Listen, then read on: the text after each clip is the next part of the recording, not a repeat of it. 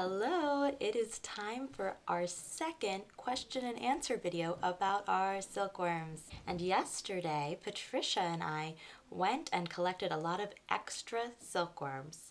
And so now I have a lot of silkworms of different sizes from a bunch of different magnolias in my house. And I'm going to be giving those to families who don't have silkworms or don't have as many silkworms. So here's my question list. I had to put it higher up. It says silkworm questions up there. Here's our question mark. And I have some more questions, so I had to write them further down on the paper.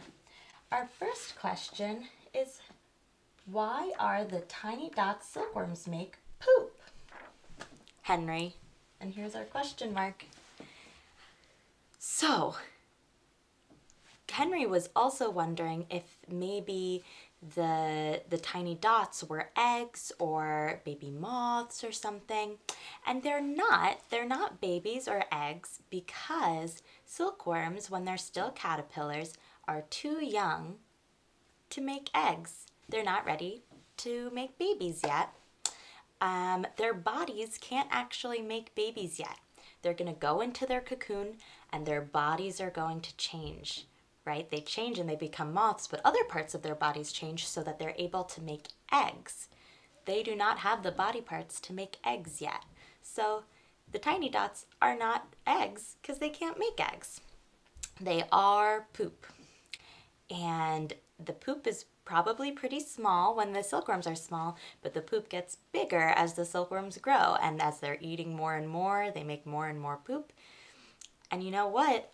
I was doing some research on silkworm poop. And I looked up on my computer, I typed in silkworm poop because I was wondering if there was anything I could tell you about silkworm poop. I found out that there are some places that actually use silkworm poop for medicinal reasons. Medicinal, what is that word? What does it sound like? Medicinal. It's like medicine, right? It's something that they use to make their health better. Uh, so sometimes there are people who put silkworm poop in tea to make their tummies feel better or to make them feel healthier. And there are sometimes people who put silkworm poop in pillows because they think that sleeping on a pillow with silkworm poop inside will make them healthier. I don't think that we should try it because those silkworms that make the poop are in a factory. And in that factory, they make sure that all the leaves are perfectly clean um, and that there's nothing that could make anyone sick going into the silkworms. So they're making sure that, that the silkworm poop is safe. We don't really know if our silkworm poop is safe. So we're not going to try using it as medicine, but it is pretty interesting to know that that is something that people do. One thing that we can do with silkworm poop is we can use it to feed plants. It can be used as a fertilizer. That is something that you put in the soil of plants and it helps them grow more healthily. So we might not use it for our health, but we could use it for plant health. So if you have any plants and you want to put some silkworm droppings in there, you could do that. Thank you for the question, Henry. I was really excited to do that research and find out something that I never knew, and now I do know. It is really fun to learn. Our next question says, why do I have to give my silkworms away? Question mark. Neil. Thanks for your question, Neil. That's right, Patricia and I collected some of your extra silkworms. And the reason for that is that even though the silkworms seem pretty small right now, they are going to grow and grow and grow until they're this big.